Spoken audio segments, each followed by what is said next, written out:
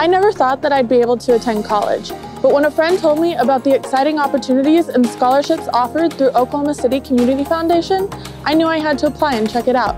When I checked out the website, my mind was blown. There are so many scholarships that I could apply for.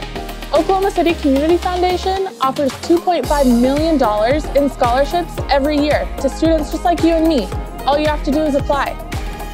First thing you do is visit Click on the sign up button in the right hand corner to create an account. Make sure you come up with a unique password. You will see a green check mark once you have entered your password successfully. You will receive an email from Oklahoma City Community Foundation that will prompt you to the next step of the process called the general application. Check your email spam or junk folder for this email. This is basically your student profile. You'll want to fill in all of the fields on the application. Now to apply for the scholarships recommended for you.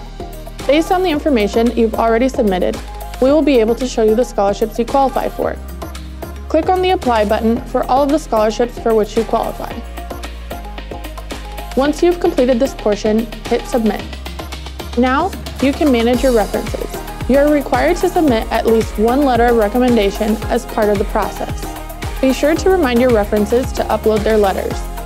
If they cannot send them electronically, they can mail a hard copy to the Oklahoma City Community Foundation. It's important that all information must be received prior to the application deadline, and remember to check your profile regularly. I know it might seem like a lot of work at first, but believe me, it's well worth it. If you have any questions, just contact us at the address on the screen. Good luck, and you could be the next Oklahoma City Community Foundation Scholarship recipient.